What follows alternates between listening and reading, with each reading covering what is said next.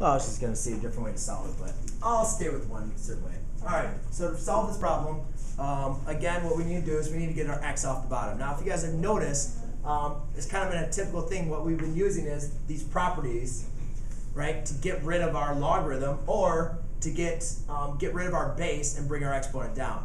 Well, the same thing's gonna be true with this problem, ex- except what we have is we have a couple things that are messed up. First of all, we have this 8 here. We can't utilize any of these properties unless our exponent is like isolated, right? Remember when we had that e to the x for the first problem I did? I had to get rid of everything that's on that side. Here's the same thing. Now I just have a multiplication that I need to get rid of. So I'm going to divide by 8 first on both sides. So I have 10 to the 3x is going to equal um, 12 divided by 8, which will be 3 halves. All right. Now what I have is I have this base raised to the 3x equals 3 halves. So now what I can do is, again, I need to get rid of this base. So I'm going to use my one-to-one property by taking the logarithm of both sides.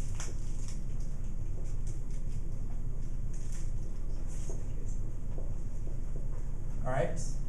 And I'm going to use the, the log um, natural base 10. All right. I'll just write in there. And the reason why I'm going to choose base 10 is because that's the exact same as what I'm evaluating over here. And uh, for my exponent. So there, by using this property of my logarithms, I know it's going to equal my exponent, which will be 3x. So we can say, you could also say it just cancels out.